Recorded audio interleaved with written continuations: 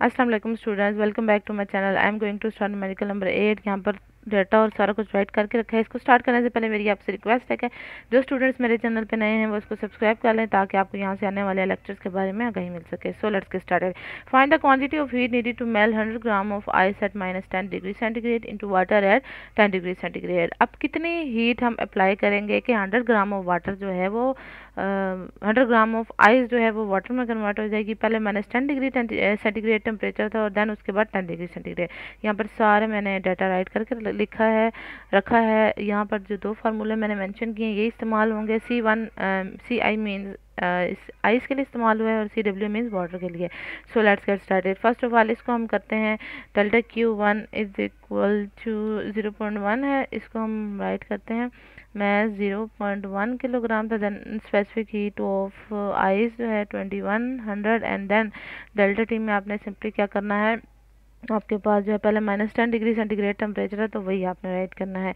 इसमें फिर आपके पास आ जाएगा टू टू टेन आ जाएगा एंड देन उसके बाद टेन आ जाएगा। सो so, अगर इसको समझना चाहते हैं कि ये माइनस टेन यहाँ टेन कैसे हुआ है तो इसका कुछ दूसरा प्रोसीजर ये है कि zero degree centigrade minus minus ten degree centigrade इसको हमने ऐसे करना है तो यहाँ पे टेन आ जाएगा। सो so, इन दोनों को जब मल्टीप्लाई करेंगे तो हमारे पास ट्वेंटी वन हंड्रेड जऊल आ जाएगा। देन सेकेंड कंडीशन में क्या है हमारे पास? M C W delta T इसी तरह से ज़ीरो पॉइंट वन करना है and then specific heat of water forty two hundred and then ten degree ten degree and then minus zero degree तो ये एक कंडीशन है जिसमें आपने इस तरह से करना है। वैसे यहाँ पे आप कंफ्यूज हो जाएँगे, यहाँ लिखने की ज़रूरत नहीं यहाँ पे टेन ही लिखेंगे। माइनस टेन था तो उसको टेन करने के लिए मैंने आपको बता दिया कि इसको कैसे करना है।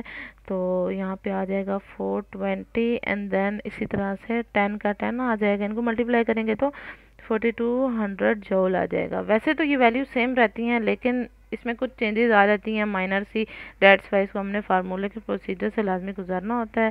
देन ओवरऑल हीट आपने फाइंड करनी है delta Q is equal to Q Q